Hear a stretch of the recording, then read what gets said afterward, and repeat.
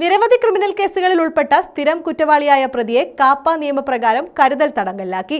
കൊല്ലം പേരൂർ വയലിൽ പുത്തൻ വീട്ടിൽ പട്ടൻ രാജീവ് എന്ന രാജീവാണ് കാപ്പ നിയമപ്രകാരം തടവിലായത്.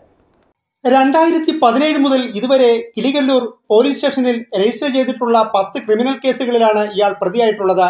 കൊലപാതക ശ്രമം സ്ത്രീകൾക്ക് നേരെയുള്ള അതിക്രമം കഠിന ദേഹോപദ്രവം ഏൽപ്പിക്കൽ വ്യക്തികൾക്ക് നേരെയുള്ള കയ്യേറ്റം കവർച്ച എന്നീ ഗുരുതര കുറ്റകൃത്യങ്ങളിലാണ് ഇയാൾ ഉൾപ്പെട്ടിട്ടുള്ളത്. ജില്ലാ പോലീസ് മേധാവി സമർപ്പിച്ച റിപ്പോർട്ടിന്റെ അടിസ്ഥാനത്തിൽ ജില്ലാ മജിസ്ട്രേറ്റ് കൂടിയായ ജില്ലാ കളക്ടർ എൻ ദേവിദാസാണ് കരുതൽ തടങ്കലിന് ഉത്തരവായത്. ഇയാളെ കരുതൽ തടവിൽ പാർപ്പിക്കുന്നതിനായി പൂജപ്പുര സെൻട്രൽ ജയിലിലേക്ക് അയച്ചു.